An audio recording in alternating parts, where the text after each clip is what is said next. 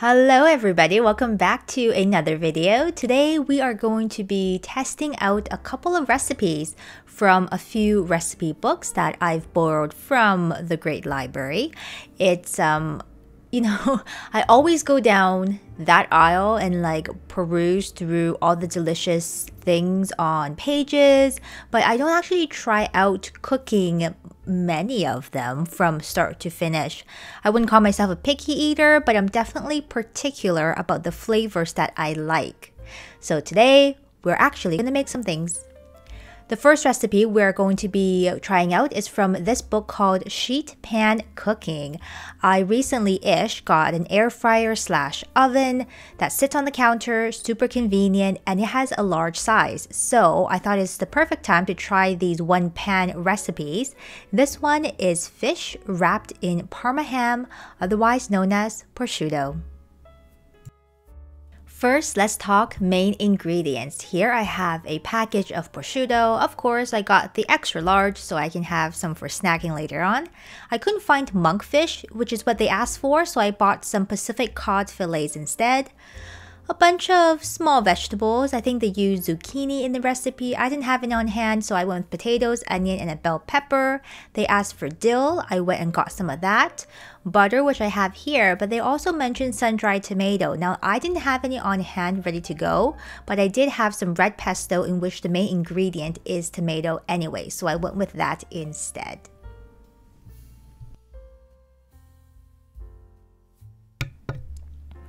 Of course, one of our first steps is to prep the vegetables, and potatoes are going to take the longest time to cook. As you can tell, I'm having some trouble deciding what shape my potato should be. They use much smaller potatoes. These were what I had on hand, so I didn't you know, bother getting new ones, but I want to make them more or less even shapes. So I think I went with wedges, but a couple of them might be uh, some other odd shapes here. I also decided to cut up the onion and the pepper at the same time, but as we continue on and I thought about it, I figured the potatoes by themselves should go in first and the other things needed a bit more, um, a bit less time actually to cook. Here I am drizzling everything with a good portion of olive oil. Now I did later find out that apparently you're not supposed to cook with extra virgin olive oil because somehow that is for salads and you know non-heat processing. Let me know if you know anything about this. A little bit of salt and pepper went on all the vegetables as well and then it was ready to go in my air fryer slash oven.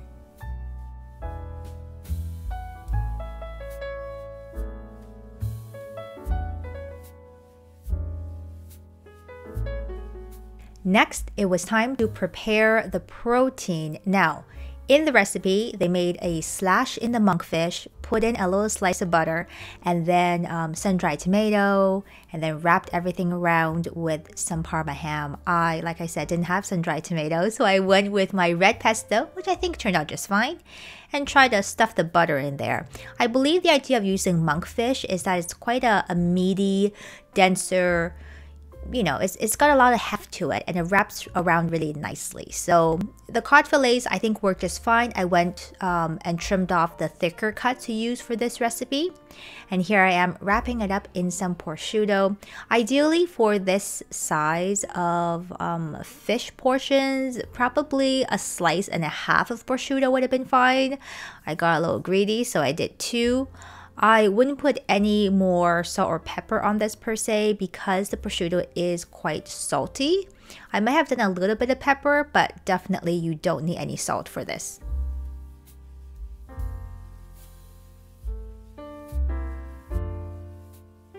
Potatoes, partway out of the oven, sprinkling on some dried dill. I don't usually use dill in my cooking, but they go so well with potatoes that I'm definitely going to keep some around from now on.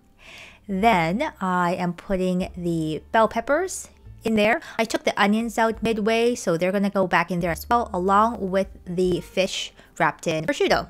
Now with everything given a few more minutes in the oven to cook, this is how it all came out. It looked really great actually. My plating wasn't so awesome, but the food I think tasted quite delicious. The wild Pacific cod does have uh, like a firmer texture in the mouth. You couldn't quite taste the butter or the red pesto, but I think all the flavors went together quite well. I would dial down a little bit on the um, the ham though, because it is a, a little salty. But that would be my only critique. Overall, I was fairly pleased with this.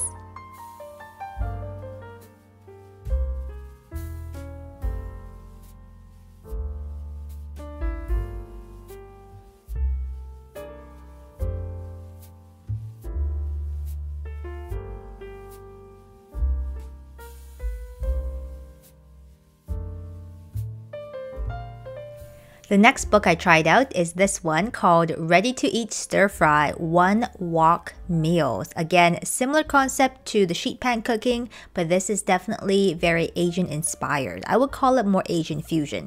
The recipe I'm trying out is miso potatoes and green beans. I have mostly similar ingredients. My potatoes look a bit different, but I think we can do it. It's a lot of potatoes in this video. Here I am gathering the key ingredients. Here you will see I have ginger. I also have my potatoes. I went out and got some green beans. They're not really in season right now. They're, these are, you know, shipped up here from Mexico. Thank you. I've got green beans. Then roasted sesame seeds. I didn't bother roasting them myself. I just bought them pre-packed. This is what I have in terms of miso. This is dashi miso. I did not get this by the way. I sent someone to get this and they brought home dashi miso, which is fine. I'll just use it. Um, so it is a little bit different. Mirin as well as honey. I didn't have regular honey. So all I had for my teas and stuff is Manuka honey. Now that will play kind of a weird role later on and I'll, I'll talk to you about it in a bit. Here I am mixing together the sauce. The recipe is really just cook all your vegetables and whatever you got and then douse it in some sauce and uh, you're kind of done.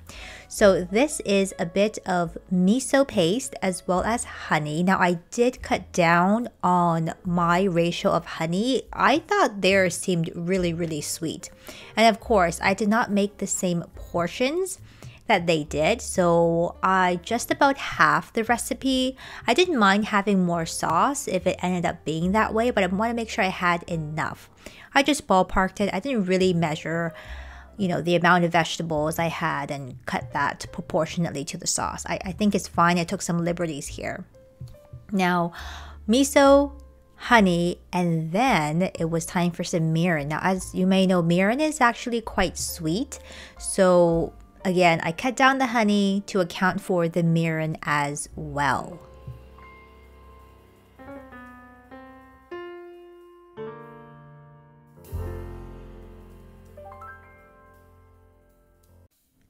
Next up, it was time for sesame oil. This called for sesame oil as well as a sprinkle of roasted sesame seeds at the very end.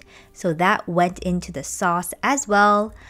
And uh, ginger. We had a bit of an unexpected ginger problem. It called for grated ginger, which I attempted to do. Either my grater was awful or my ginger was definitely too old because it was super fibrous and I didn't have a whole lot of luck. So I put in whatever I got and then ended up doing a few more ginger slices to throw in there and I'll pick it out at the end.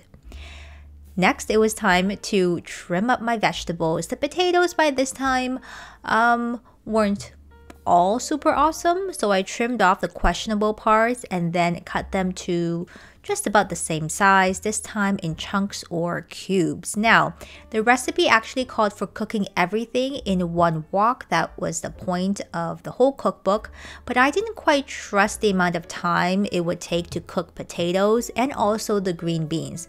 So what I did was par cook everything before it all went into the wok.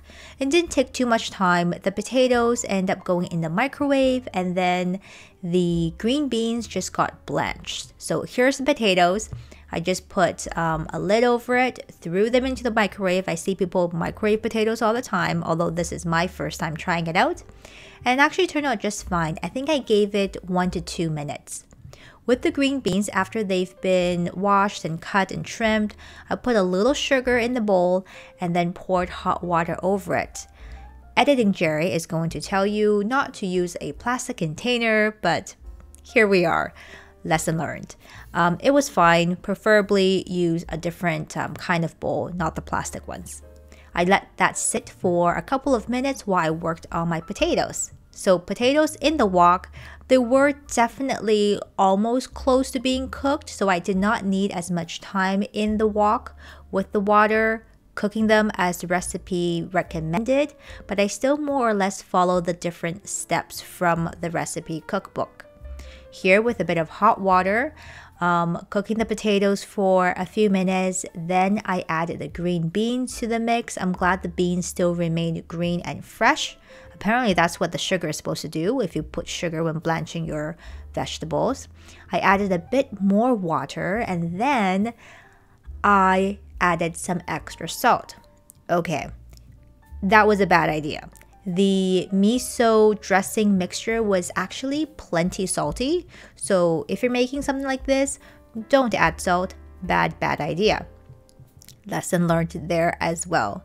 I put a lid on it, let this sit for a while, and then realized my non-stick pan was getting a bit goopy from being lidded and cooking the starchy potatoes, I transferred to a different pan, let it fry off for a bit, and then added my dressing mixture. By this time, I really turned the heat down. You don't want to burn the sugars with the honey and you know the mirin in there. So really watch your um, temperature of your stove. I really liked how this presented on a dish. You had some crispy looking bits, you got some color on those green beans as well as potatoes. If you don't love eating vegetables or you're tired of boiled or steamed vegetables, this is a great idea. I like this method of cooking. And even though mine wasn't really one wok, I still consider this a very quick and easy recipe. I will say, back to the honey. Don't use Manuka honey because it has a particular taste. Use just regular miso if you've got. I think the miso didn't change things too much, but the Manuka honey made things a little funky. So I am up for trying this again with regular honey, and I think that would go along so much better, but I would definitely cut down on the honey. So here are the two recipes we tried out together in this video. Let me know your thoughts. Which one would you try out? And um, how do you think they turned out compared to the actual recipe pictures? Love to hear your thoughts. I love to think about making this a more regular video as I continue to learn and build my own cooking recipe repertoire. If you like that as well, give this video a thumbs up, drop me some feedback down below, and I will chat with you in the comments. Take care, everybody. Bye.